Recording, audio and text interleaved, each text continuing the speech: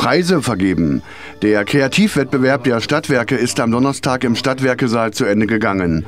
Aus insgesamt acht Projektgruppen konnten sich die Horteinrichtungen Kreuzberge und Tempelhofer Straße über ein Preisgeld von 600 Euro für das von ihnen entworfen und gestaltete Ökodorf Sparhausen freuen.